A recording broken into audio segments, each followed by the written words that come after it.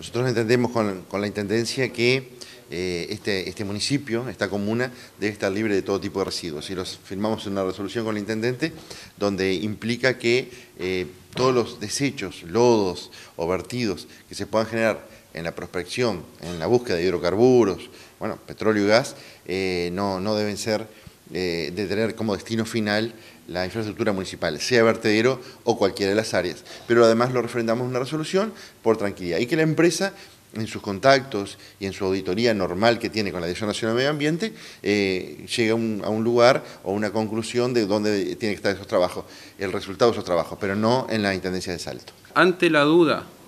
de que se planteó por eh, algunas personas este, que están ligadas directamente con, con el medio ambiente, nosotros decidimos cortar la entrada ya hace un tiempo. Eso fue en conjunto con vecinos organizados y sobre todo de la zona de vertederos, lo cuales íbamos a eh, mandar a analizar ese tipo de, de residuos y ver si realmente era lo que ellos habían solicitado para llevar al vertedero. Eh, debido a que no han venido desde hace muchísimo tiempo de, de esa empresa tirar ningún tipo de residuo al vertedero, o sea, se decidió por parte de la administración y a fin de dar tranquilidad y ya cerrar el tema, eh, prohibir la entrada al vertedero de esa empresa, digo, sea el residuo que, que sea.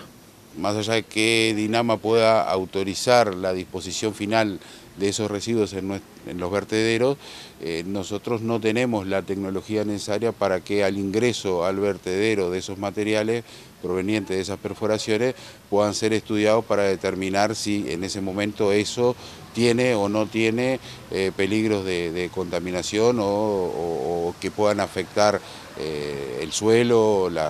el agua subterránea o, la cercanía, las aguas cercanas a eso.